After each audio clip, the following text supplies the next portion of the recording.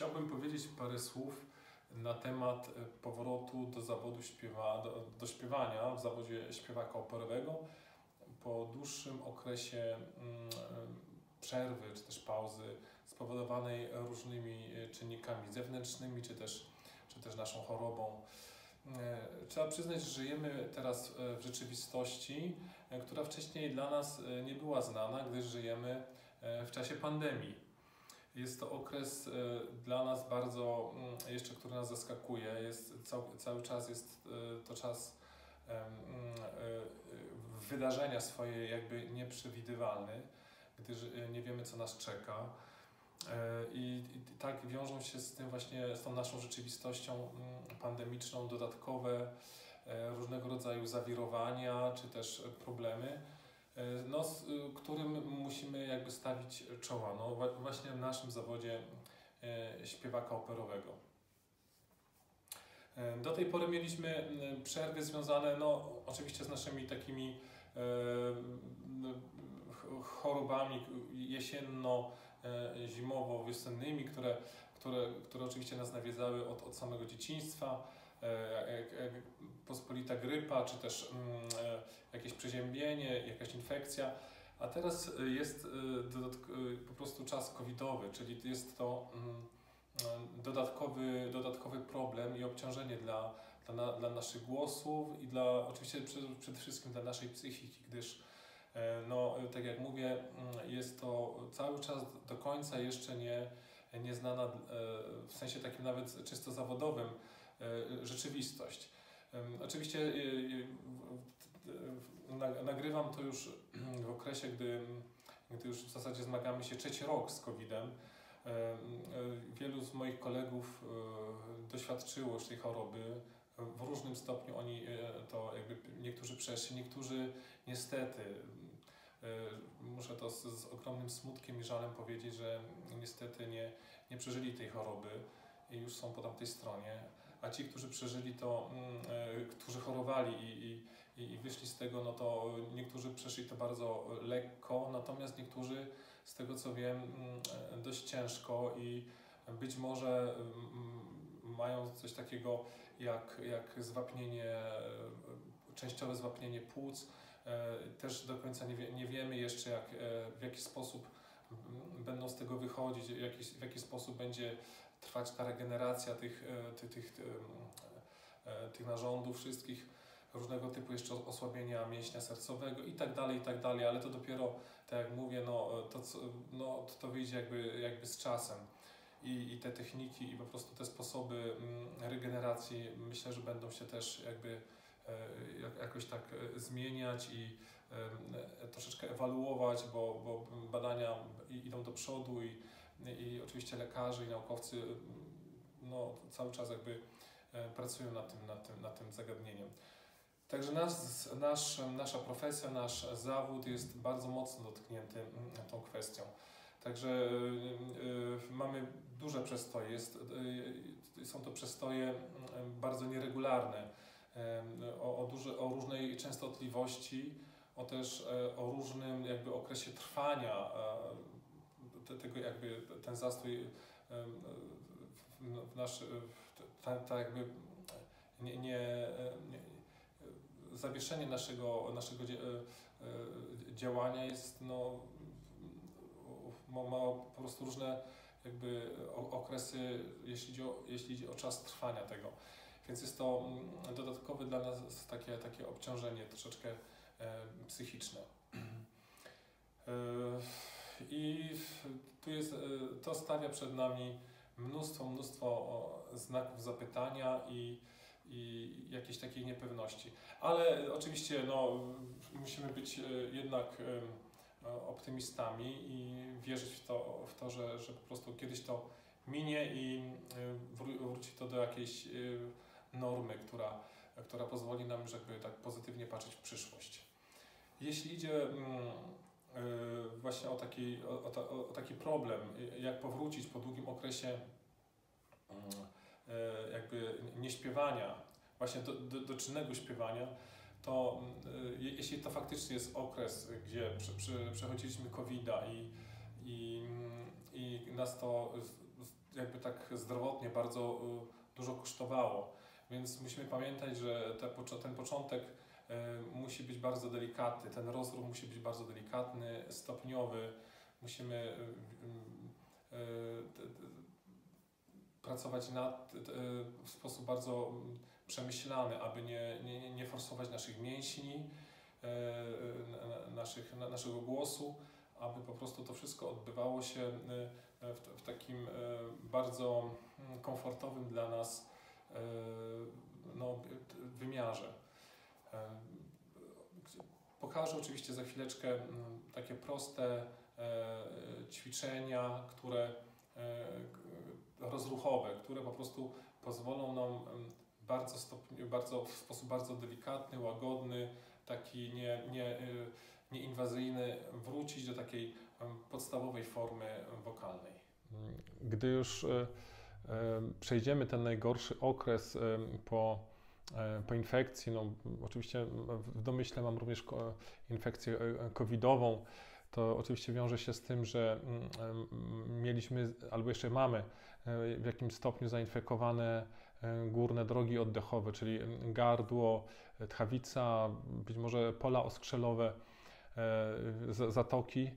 Mm, te infekcji towarzyszył nam kaszel, który po prostu bardzo nam wymęczył te, te, te mięśnie wokół, no, mięśnie gardła i i, i w, w, okolicach strun głosowych, e, czyli te struny mamy mm, e, osłabione. E, musimy dobrać takie ćwiczenie na początek, oczywiście wsłuchując się jakby mm, w, w, w, to, co nam mówi nasza intuicja odnośnie jakby naszego stanu zdrowia, naszej, naszego stanu jakby samopoczucia. I musimy dobrać ta, tak ćwiczenie, aby nam to, nam to w żaden sposób nie, nie, nie zaszkodziło. I takim najbardziej bezpiecznym na początek ćwiczeniem to jest e, rozruch e, strun głosowych, czyli dokładnie mięśni, które, które trzymają struny głosowe za pomocą ćwiczenia mormorando. Jest to ćwiczenie mm, polegające na tym, że na słowie plum E, robimy murmurando, zjeżdżając głosem e, w dół. A na pierwszy dźwięk zaczepiamy na najbardziej wygodnym dźwięku, czyli e, to ćwiczenie powinno się zamykać w, to, w tonacji, w obrębie jakby tonacji naszej mowy, takiej naturalnej. Czyli plum.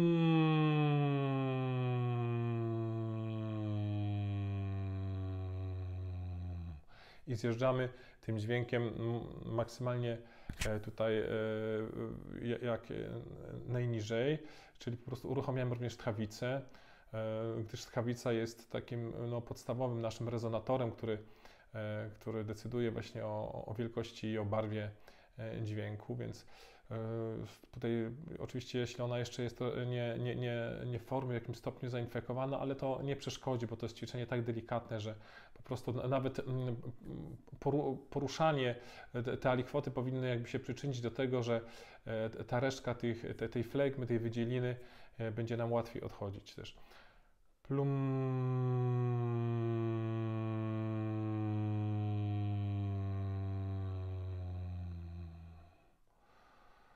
Plum.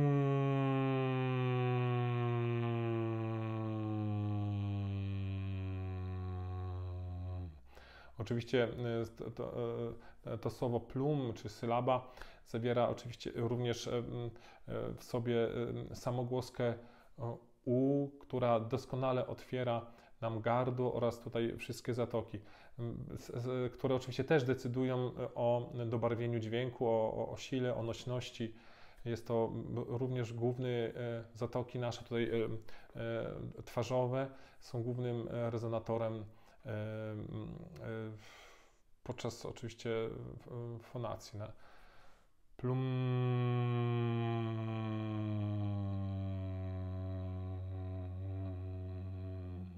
Dbamy o to, żeby ten, te, te wibracje tutaj były wyczuwalne na, e, we wszystkich zatokach, e, we wszystkich rezonatorach, na polach czuciowych tutaj w, prze, w, w okolicach górnych i dolnych zębów oraz, oraz tutaj w, w, w okolicach policzków.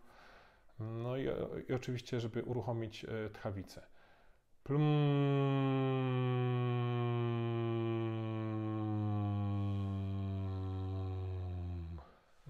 Tym ćwiczeniem e, e, przypominamy, e, uruchamiamy pracę rezonatora podkrtaniowego i nadkrtaniowego. Przypominamy sobie, jak, jak te rezonatory pracują. One powinny pracować równocześnie i stosujemy taki delikatny masaż dla, dla strun. Plum.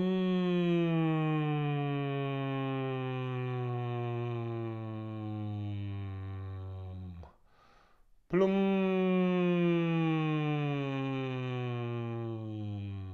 Potem e, w miarę już wykonywania tego ćwiczenia możemy już zaczepiać e, ten pierwszy dźwięk e, nieco wyżej i, i, i schodzić w dół.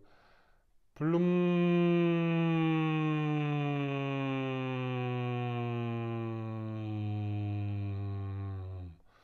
Plum.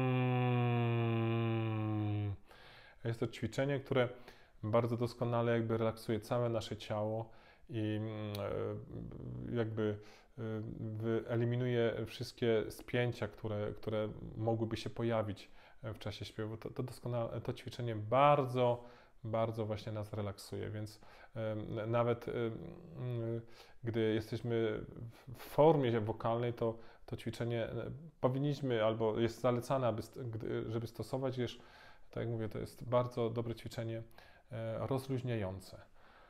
Plum.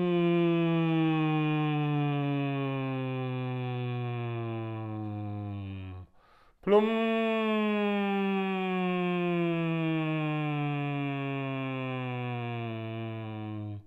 Plum.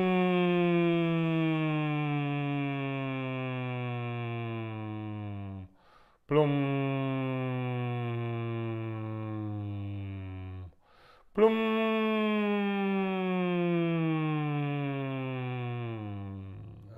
Rekonwalescencja e, pokowidowa to oczywiście mm, e, przymusowe czasami e, leżenie w łóżku, gdyż po prostu jesteśmy słabi, nie mamy sił na takie podstawowe czynności i jesteśmy zobowiązani na długi okres leżenia, le, leżenia w łóżku, co oczywiście nie sprzyja mm, temu, żeby mięśnie nasze pracowały w sposób e, e, prawidłowy. Oczywiście również mamy e, problemy z, z, z oddychaniem czasami. Oczywiście życzę wszystkim, żeby tak nie było, ale no niestety z doświadczenia i z praktyki, znaczy z doświadczenia moich kolegów i z tego, co, co zostało mi przekazane gdzieś tam, to niestety wiem, że no ten, ten sposób i, i, i ten przebieg choroby no, ni, niestety był czasami bardzo, bardzo ciężki i,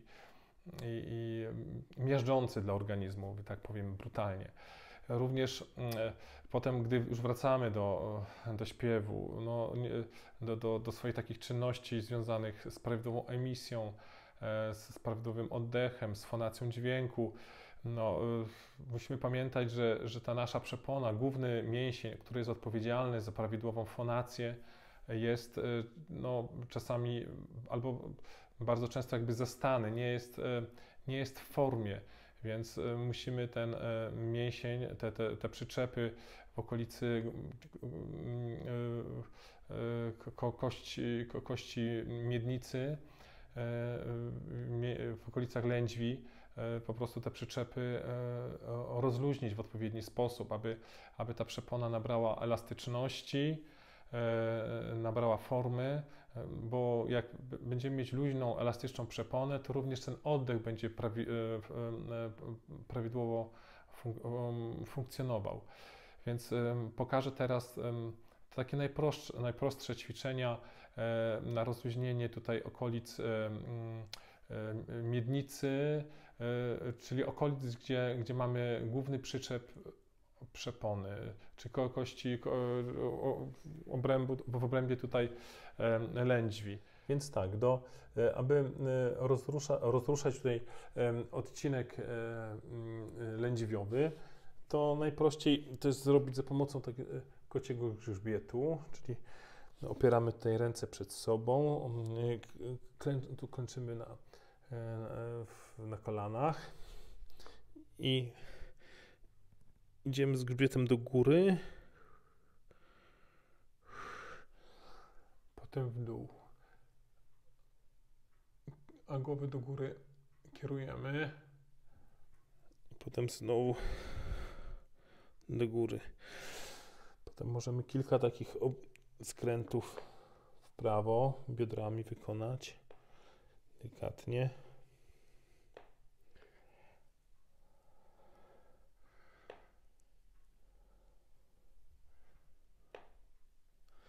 W drugą stronę.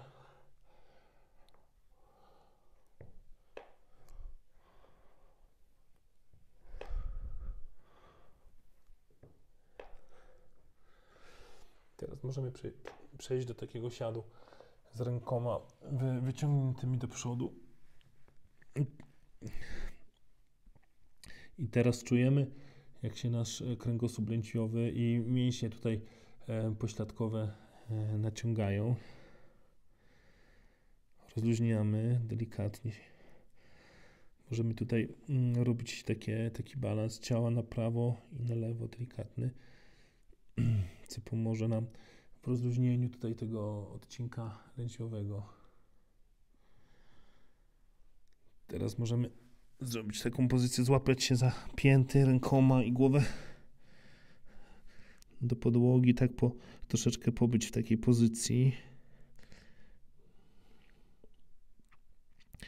Siadamy na piętach pośladkami tutaj trzymamy się za, za stopy.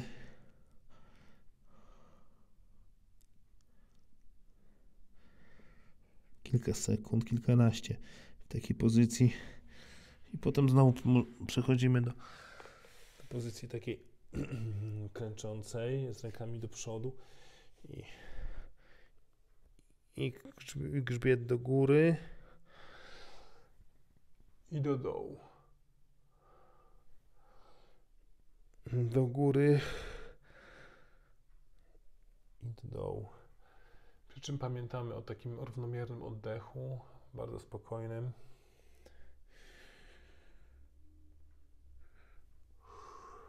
Wypuszczamy powietrze.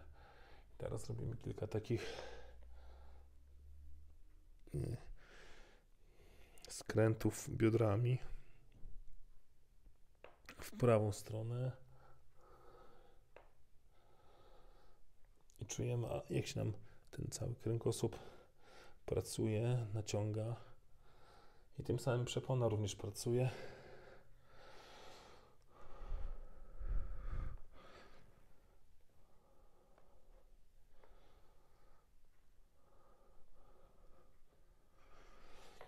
Teraz siadamy. W takim siadzie. Na piętach. I staramy się troszeczkę odciągnąć rękami, oprzeć się z tyłu za siebie. I głowę odchylamy do tyłu i teraz czujemy, jak tutaj te całe partie mięśni tutaj e, e, się nam się naciągają również. Oddychamy tak spokojnie właśnie.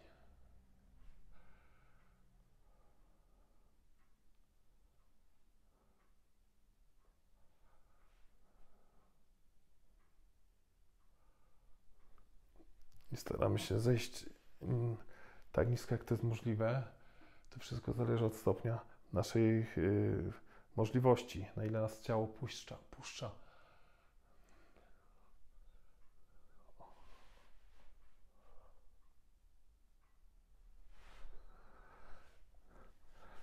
Teraz znowu możemy przejść do klęku i parę takich ruchów biodrami w prawo i w lewo wykonać. Pamiętając bardzo takim e, spokojnym oddechu.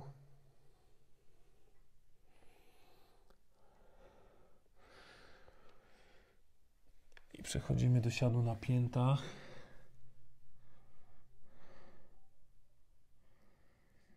Tak trwamy w takiej pozycji kilka sekund i znowu do, do pozycji takiej, gdzie łapiemy się za, za pięty i przyciągamy nasze pośladki do, do pięt rękami.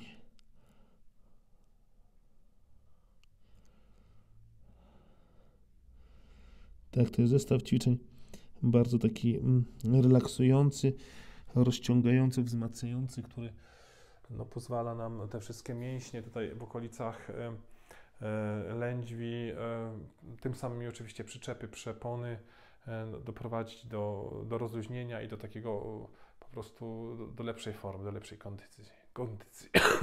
Jak Państwo słyszycie, ja również e, wychodzę z dość poważnej ko- infekcji górnych dróg oddechowych i regularnie wykonuję takie ćwiczenia, e, żeby no jednak e, te, te mięśnie, które są odpowiedzialne za prawidłową fonację, jakby w jak najszybszy mm, czasie i możliwie jak, jak najszybciej doprowadzić do e, takiego stopnia no, używalności, do dobrej formy. Zmagam się jeszcze z kaszlem.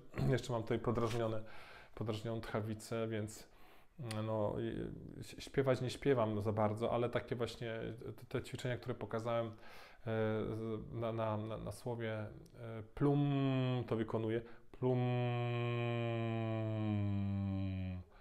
plum, plum,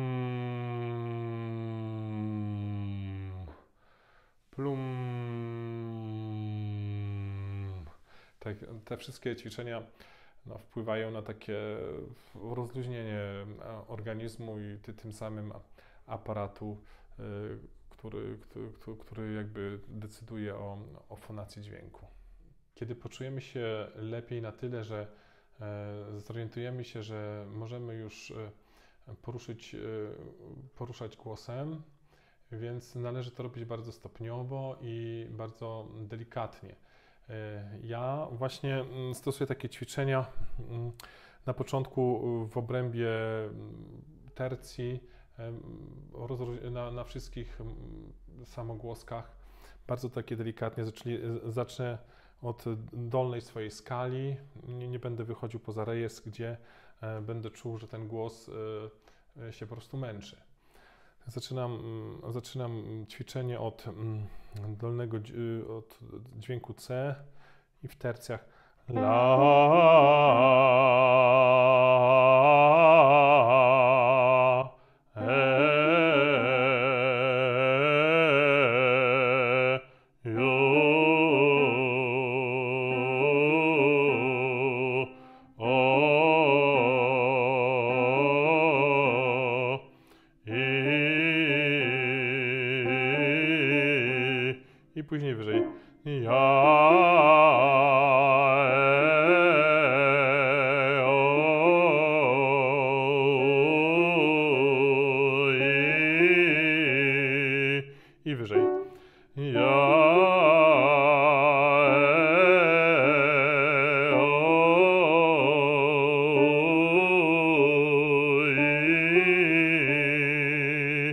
i, wyżej.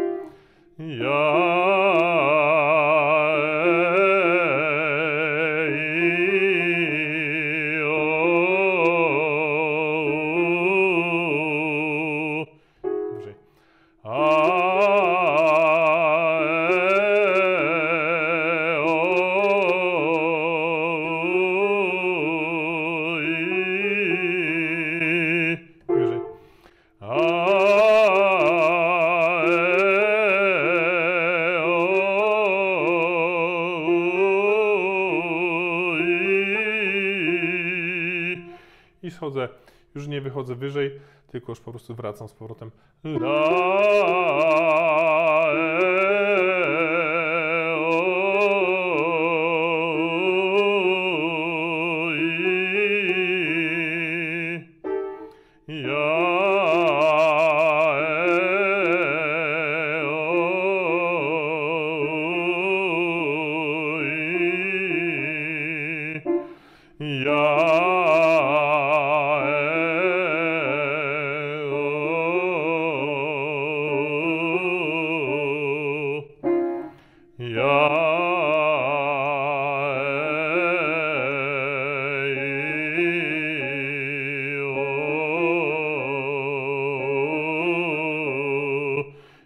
ostatni dźwięk. La, e, o.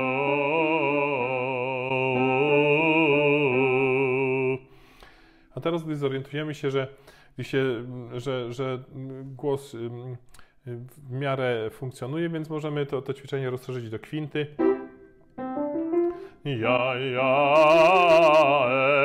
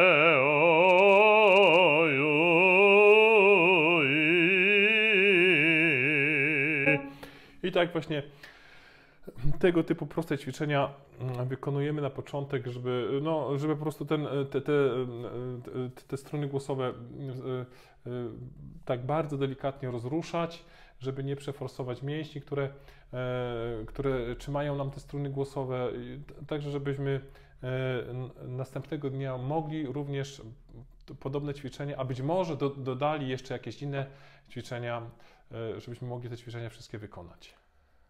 Taka sytuacja, gdy wracamy do aktywności y, wokalnej po mm, okresie choroby e, i po jakimś, e, jakimś, jakiejś infekcji, to się oczywiście bardzo często zdarzają i to są sytuacje, które wszystkich nas, no, śpiewaków, nie tylko śpiewaków, dotykają. Natomiast również są takie sytuacje, gdy jesteśmy zdrowi, a natomiast e, są przyczyny jakby zewnętrzne, które powodują, że e, tworzy nam się e, przestój, dziura e, e, w aktywności naszych, e, jeśli chodzi o aktywność naszą zawodową, nie wychodzimy na scenę, bo je, jeśli my jesteśmy zdrowi, to, no, to, to kto, ktoś inny z zespołu e, zachorował na przykład na COVID, tak jak ostatnio się zdarzyło chyba dwa razy, gdy już byliśmy po wszystkich próbach do, mm, do spektakli i, i przyszedł y, mm, dzień przed pr- y, spektaklem, występem, dostaliśmy telefon, że y, spektakl się nie, od- nie odbędzie, gdyż po prostu y, ktoś z zespołu y, zachorował i więc y, nie ma takiej możliwości, są takie przepisy y, jakby z Ministerstwa Zdrowia, które uniemożliwiają y, no, po prostu podjęcie tego, y, wykonania tego zadania, czyli po prostu, żeby się ten spektakl odbył no, no, nie, nie, było takiej, nie ma takiej możliwości.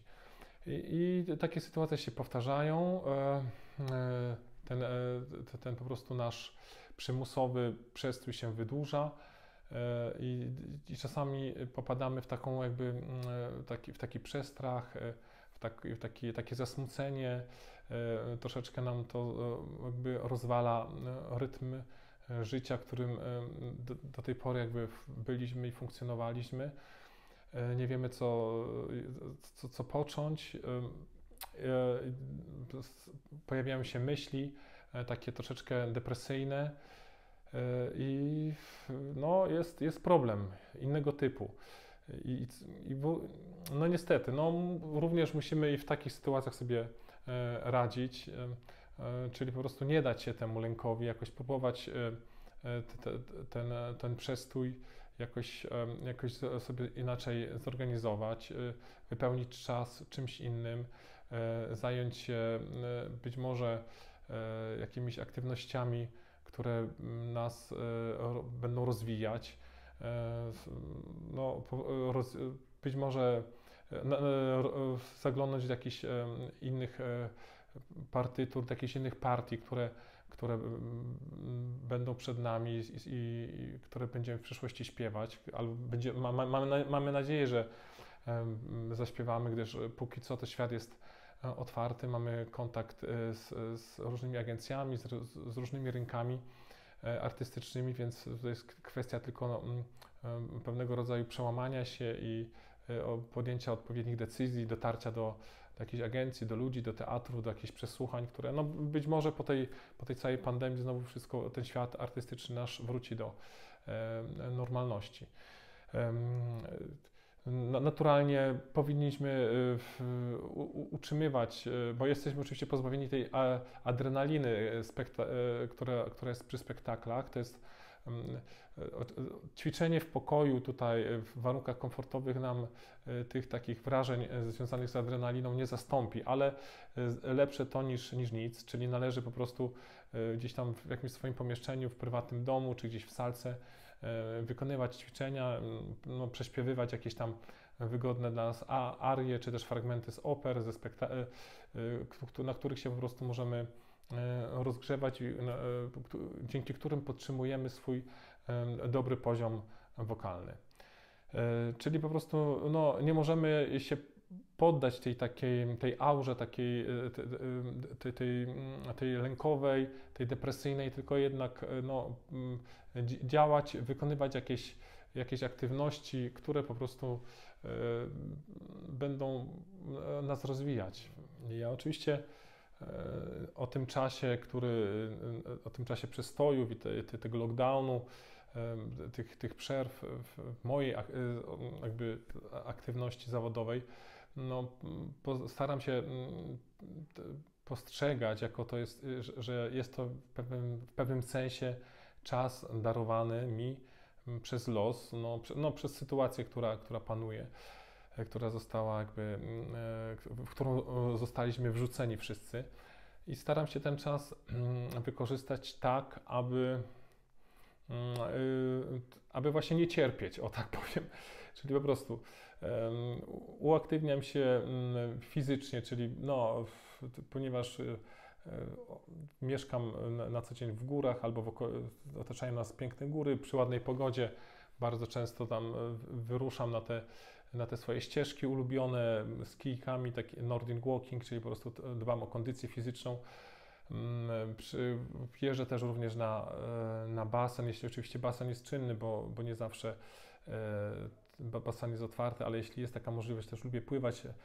Jak już mówiłem we wcześniejszym filmiku, pływanie jest bardzo korzystne na, e, dla, dla, dla, w ogóle dla, dla śpiewaków i na, gdyż po prostu powoduje, że, że nasze tutaj, że poszerza, poszerzamy zakres oddechowy, swój zakres oddechowy więc pływanie, pływanie jest bardzo e, korzystne. Również e, z, oglądam, e, relaksuję się oglądając jakieś, jakieś filmy, na które normalnie nie, nie miałbym czasu. Mm, oglądam telewizję, oczywiście też nie w nadmiarze, gdyż, gdyż to też nie jest wskazane. No, E, odświeżam jakieś kontakty towarzyskie, e, czy też no, staram się jakoś tak, otwieram również wyciągi fortepianowe z, z literaturą, tak, o której no, gdzieś tam marzę, prawda, żeby zaśpiewać na przykład jak, jak Tristana i Isolde, czy jak Longrina na przykład. Mm, więc jest mnóstwo takich możliwości indywidualnych, które pozwalają nam, e, aby ten czas spędzić e, jakoś konstruktywnie, żeby nie, nie popaść w, jak, jakieś takie zasmucenie, w melancholię, tylko żeby jakoś tak konstruktywnie, e, wyczekując na, na, na normalność, spędzić ten czas tak, żeby po prostu nie żałować, że ten czas był czasem straconym.